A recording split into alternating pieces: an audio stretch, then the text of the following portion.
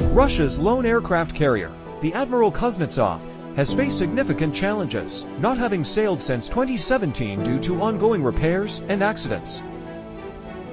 With a problematic history, including fires, fuel spills, and mechanical failures, the carrier is far from modern standards. Amidst Russia's military struggles in Ukraine, the potential scrapping of the Kuznetsov could be seen as an economic and practical decision, despite the negative optics. Given the vessel's outdated technology and persistent issues, folding their hand and scrapping the carrier might be Russia's best option, especially as it contends with broader military inefficiencies and losses in the ongoing conflict.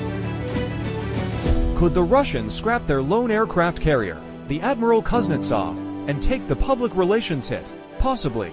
The Admiral Kuznetsov hasn't sailed in years, and the Russians have taken so much bad press since the beginning of the Russo-Ukraine war that another few headlines pertaining to a beleaguered aircraft carrier would just be like a few more drops of water in a bucket about to overflow. The Admiral Kuznetsov is just one Russian military system that's been having a hard time. Since February 2022, when Putin ordered the illegal invasion of Ukraine, Russia's military systems have been under scrutiny. The consensus appears that Russia's military apparatus is somewhat modestly aged and poorly functioning on a whole. The Russians are overly reliant on Cold War era tech, which the Ukrainians have proven surprisingly adept at picking off with low-tech equipment and dogged persistence. Ukraine has even proven capable of sinking Russian warships. Just last month, Ukraine said that it used naval drones to sink a Russian landing ship, the Caesar Kunikov, in the Black Sea. The Associated Press described the sinking, if true, as another embarrassing blow for the Russian Black Sea Fleet. The other embarrassing blow that the AP is referencing is the sinking of the Moskva in 2022. The Moskva had been a guided missile cruiser, the flagship of Russia's Black Sea Fleet.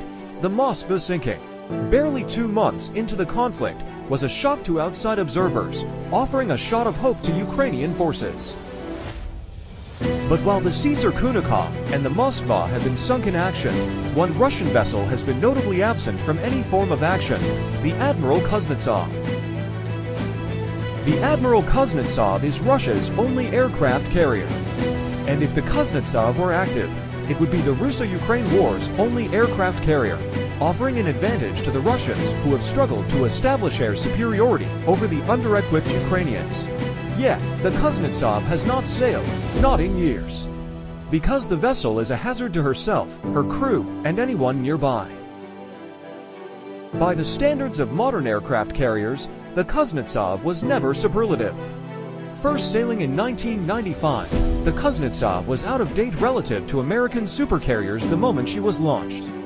Running on a petrochemical mazut rather than nuclear power, featuring a ski jump deck rather than a catapult system, and carrying just 30 or so aircraft rather than 100.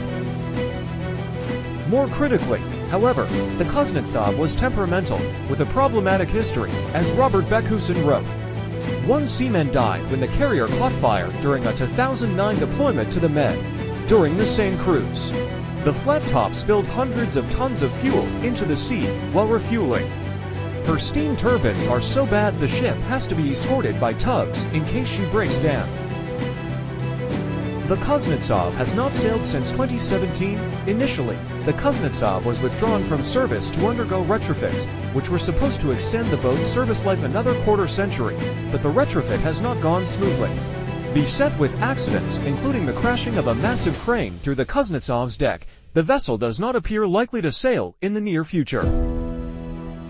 So, could the Russians just fold their hand and scrap their only aircraft carrier? Sure, the optics would be bad, but at this point, seven years since the boat last sailed, scrapping may be the most economical and practical choice.